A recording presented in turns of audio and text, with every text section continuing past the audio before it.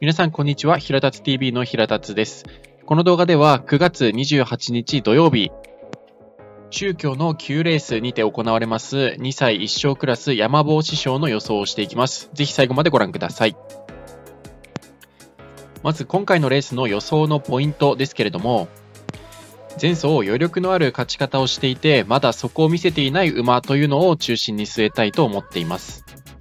今回出走してくる10頭のうち8頭が前走勝利しての小級馬という形になります。2着に1秒差以上離しての勝利だった大差で勝ち上がってきている馬だとかもいますし、ほとんど無知を使わずに勝っているようなかなり余裕のある勝ち方をしてきている馬もいますので、レース内容を見て、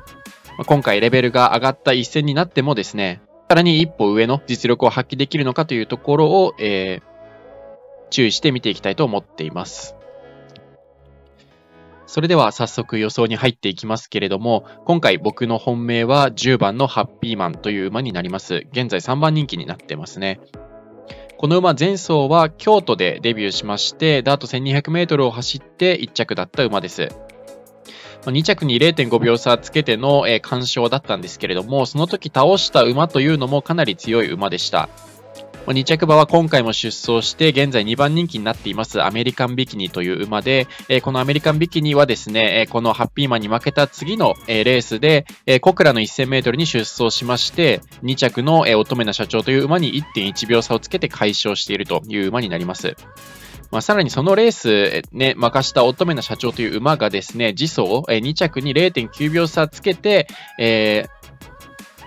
未勝利戦を勝ち上がるというレースをしてますので、まあ、そういった相手関係遡っていくとですね、やはり強い相手に勝っているアメリカンビキニをさらに0.5秒差任しているハッピーマンというのは、かなり今回の中でも自力が上位と言えると思います。まあ、さらにその未勝利戦の勝ち方を見てもですね、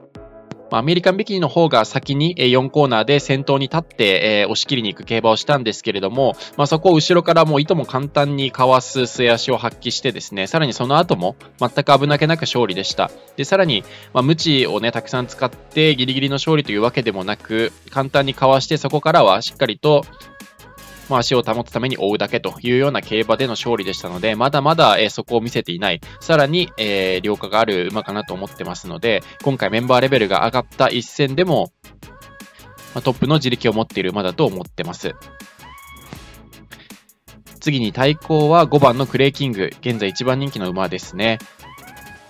まこの馬、新馬戦が東京の、え、1400メートルでデビューしていまして、そこで1着だった馬です。久々の実戦となりますけれども、今回、え、出走してきているという形になります。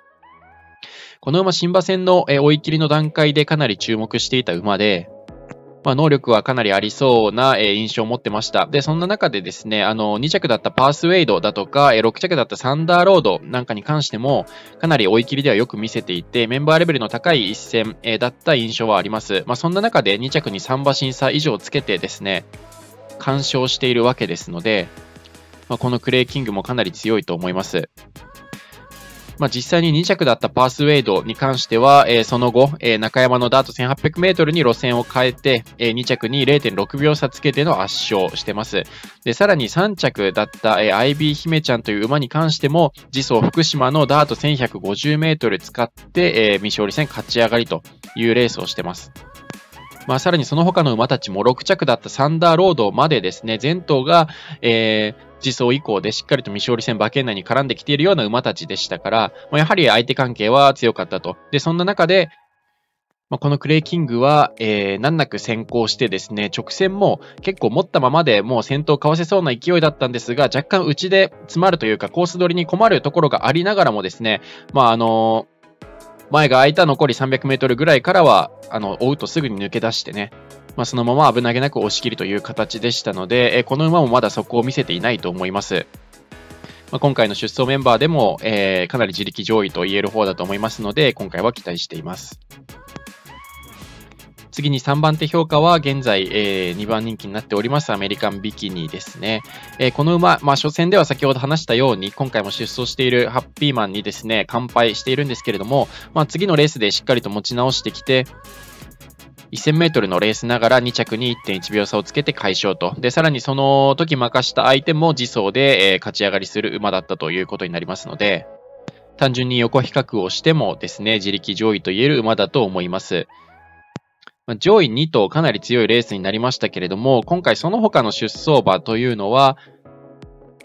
未勝利戦勝ち上がってきているとはいえ、そこまで強い競馬をした馬がいないというか、戦ってきた相手も、えー、未勝利戦で結構手こずりそうなメンバー相手に勝ち上がってきているような、えー、馬たちが多いので、まあ、このアメリカンビキにも、えー、上位2頭ほどね、強く押せるというわけではないんですけれども、相対的にやはり、えー、3番手評価になるかなというような印象ですね。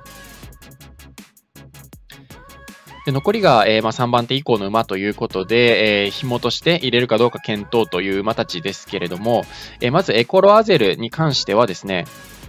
まあ、タイム的には正直凡庸でしたし、まあ、相手関係もあまり強くはなかった、えー、新潟のデビュー戦だったんですけれども、まあ、とはいえ、かなり馬格もあってパワーもありそうで、中京、えー、しっかりとこなせそうですし、まあ、前走も相手弱かったとはいえね、あの、しっかり余裕の勝ち切りという形でしたので、まあ、もちろん、今回ね、まあ、より良化した姿を見せてというか、メンバーレベルが上がってもまだやれたというような可能性は十分にある馬かなとは思ってます。まあ、3連複買うとすれば紐には入れたいかなというような馬ですが、まあ、そこまでね、今4番人気してますけれども、そこまで高評価できるかというと、案外そうではないかなというふうに思っているような馬ですね。で次にコスモストームですけれども、まあ、この馬も、えー、任した相手というのは強いですよね。初戦、小倉のダート1000メートルでデビューして勝利したわけですけれども、まあ、2着だったアーデル・リーベに関しても、えー、その後未勝利戦勝ち上がってますし、えー、3着乙女な社長というのは先ほど、えーアメリカンビキニの話だとかで、えー、出てきましたけれども、えー、その後未勝利戦をレコード勝ちしている馬です。まあそういった馬たち相手に勝利しているというのは一つ評価できるポイントであると。で、しかしながらこの馬、えー、おそらくですね、両馬場の中京よりももう少し軽い条件の方が合ってると思うんです。まあ、デクラレーションオブウォー3区ですし、初戦の、えー、勝利した小倉のレースもやや重の、えー、ダート1000メートルのレース、しかも小倉競馬場ってずっとあの、レースを通じて下り坂になっているようなコースですから、やはりよりスピードが要求される舞台ですよね。やはりそこの適性があっての勝利だったんだろうなというのはあります。今回中京の両馬場で、えー、パワーがいりますし、かつ直線坂もある、そして直線長いという形になってきますので、まあ、そこでどこまでやれるかというのは、まあ、若干疑問ではあるという形ですね。広めに買うのであれば紐に入れてもいいかなと思えるような一頭です。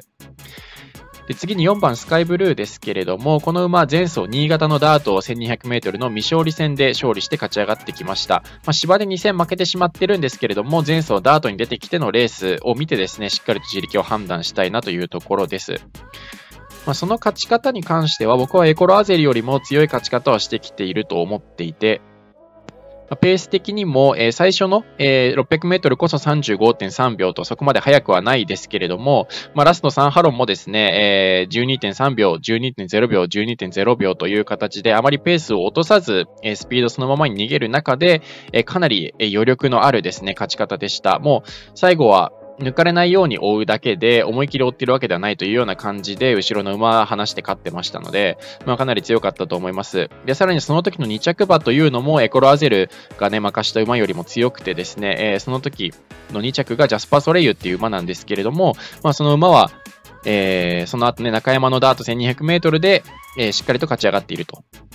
まあ、さらにその時ね、えー、ジャスパー・ソレイユが任している3ピースという馬も、その次のレースで中山ダート1200メートルで勝ち上がってるみたいなことを考えるとですね、まあ、これも、あのー対戦相手から逆算して考えていくと、未勝利を勝ち上がるような強い馬たち相手に、えー、余裕の勝利を見せているというわけですので、今人気ない、やはりエピファネア3区ということでね、若干芝のイメージもあるんだと思うんですけれども、あまり人気ついていないこのスカイブルーは結構狙い目なのかなとは思ってます。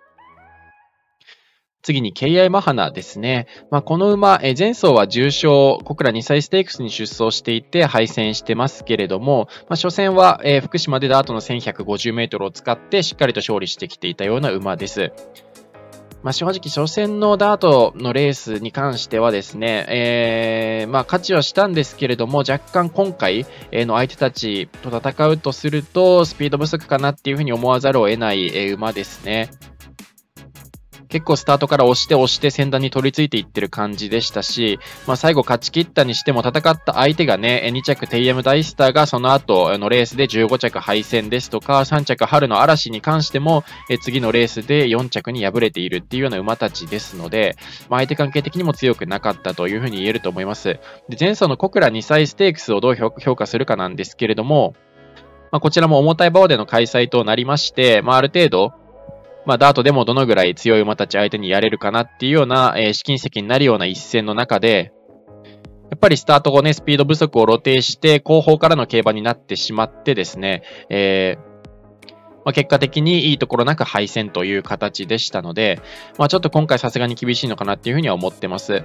まあ、同様にアースミューズに関しても前走、えー、ギリギリの勝利でしたし、相手も強くなかったということで今回厳しそう。で、あのー、8番のえー、カガバファエルに関しても、今回初ダートになるので、そこら辺の変わり身っていうところはね、期待はできるかなとは思うんですけれども、まあ、前走芝で勝ち上がったレースも、えー、かなりロスなく立ち回ってね、最打ちを回してきての、そういったアドバンテージがあってのギリギリの勝利だったということを考えると、まあ、相当ダートに適性があったという話じゃないと今回浮上してこないのかなと思います。で、ちょっと双方だとか馬体を見ると、まあ、そこまでね、ダートっていう感じでもない、まあ、芝田と両党みたいな形の馬なのかなとは思うので、まあ、そこら辺考えるとね、今回相手関係、えー、そこそこ強い先行馬いますから、まあ、紐のね、段階で言ってもエコラーゼル、スカイブルーあたり、まあ、しっかりやれそうな馬たちですので、まあ、若干強く押せないかなとは思います。ただ他の穴馬たちがね、例えばアースミューズだとかそこら辺は、えー、厳しそうっていうのを考えると、まあ、広めに買うのであれば、えー、入れることも検討していい馬かなとは思います。であとは9番のソロモンですね。この馬、札幌で継続的に、えー、夏使われて、えー、しっかりと勝ち上がってオープンにも出走した馬ですが、まあ、芝でそこまで強い相手ではなかったという中でね、そことまあ互角の勝負、まあ、未勝利戦1着、オープン4着ということで、まあまあまあな自力という中で、ダートに変わってどうかという風になってきますよね。で、この馬、ミッキーアイル3区でハーチハービンジャーということで、やはり、あの、ダートよりもですね、芝の方が合うような決闘ではあるので、今回も強く押すのは厳しいかなというふうには思ってます。まあ、現在5番人気になってますし、どちらかというと僕はエコラーゼルスカイブルーの方がですね、部があるのかなとは思ってますね。まあ、カガバベルと同じぐらいの、え、ソロモンに関しては評価になってます。でこれらの評価を踏まえた上で最終的な解明なんですけれども、え今回本命ハッピーマン、えを中心にした3連複のフォーメーションとですね、